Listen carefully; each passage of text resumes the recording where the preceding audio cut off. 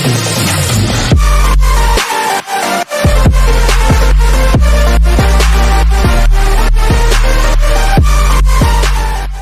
friends, this is Vasanth Nayak from Vastech channel.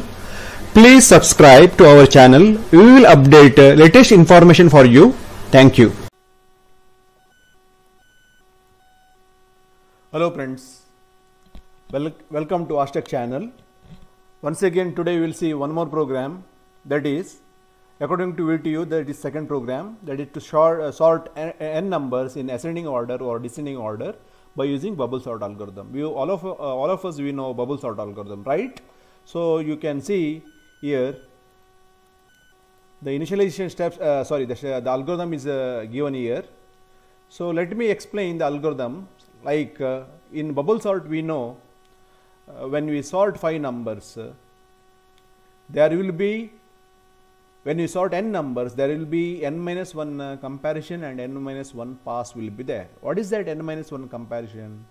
Like uh, when you sort uh, 5 numbers uh, first let me write uh, first number is uh, 25 15 17 35 and 16 so first what it will do it will check this and this and uh, it will uh, reorder the number according to ascending 15 25 17 35 and uh, 16 now in the second comparison it will check this and this.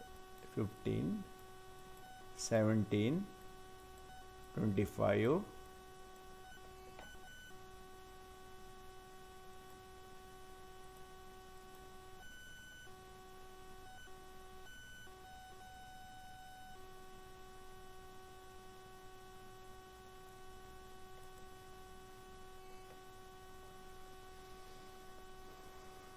25 then 35 16 now this will check this and this. So now you know 15 17 25 is lesser than 35 it will be like written like this only and 16 so after that it will check this and this. 15 17 25 16 and 35 so here how many comparisons? Uh, 1 2 3 4 this is the given number. Comparison is done four times right? So means uh, n number is there n minus 1 uh, comparisons. Like this uh, there will be n minus 1 passes. Like this uh, this is first pass. n minus 1 pass will be there. So that uh, highest number will be bubble. Just like a bubble it will be moved to the end of the array. Here in the ascending order. So this is our uh, main algorithm. And uh, here step is given. You can go through it. So let me explain now once again uh, dot model small dot data and uh, in dot data data segment uh, initialization of the data uh, sorry data segment uh, we have taken an array and we have inserted the numbers. Uh, it is not ordered actually uh, because uh, we are using bubble sort algorithm here. The name of the array is given nums and it is of type uh, data word 16 bit array 16 bit word and uh, we will try to find out the length of the element the number of elements uh, by using len len is the name given to the location. uh, and I use equate and I will use formula that is dollar. Dollar indicate the uh, location of the pointer after inserting these elements. The pointer will be at this stage.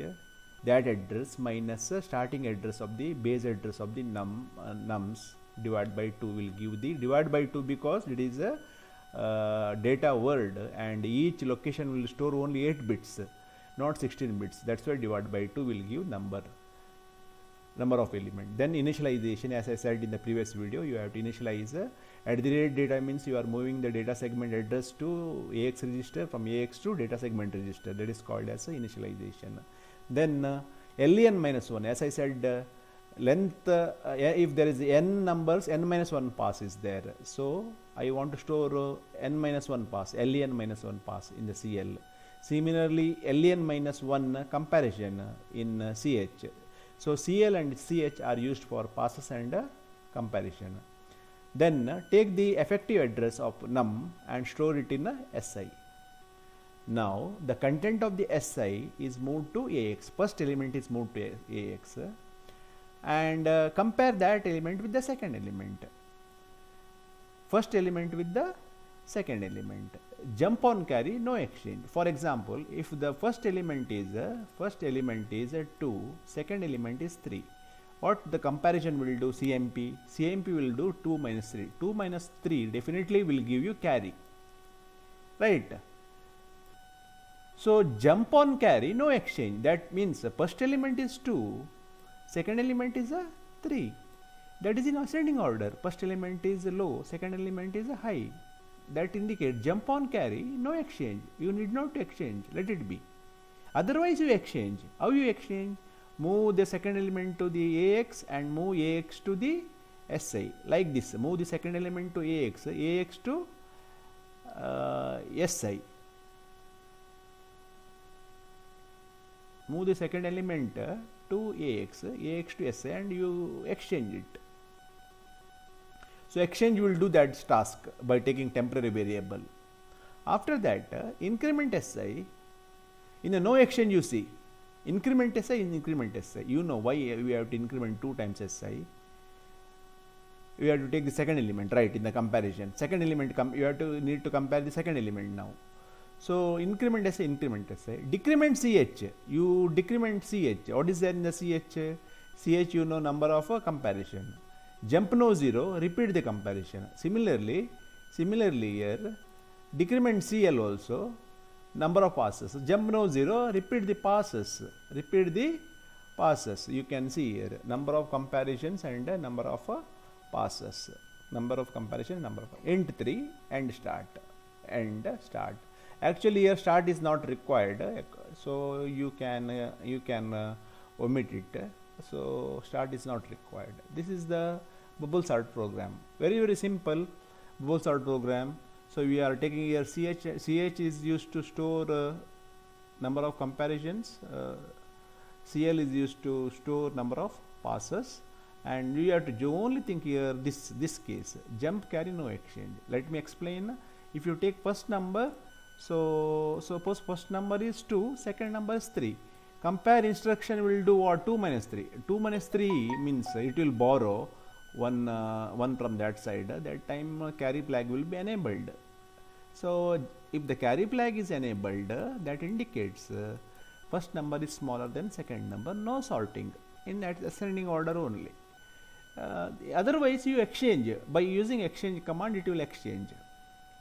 After that increment SI 2 times increment, decrement CH, decrement CL, repeat it. Important.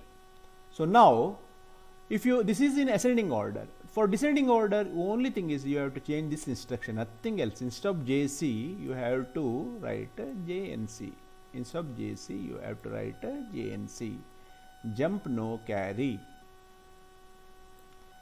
That is descending order. No other changes if you want to see the descending order number jump no carry. JNC is it clear? So this is uh, about a bubble sort program. Thank you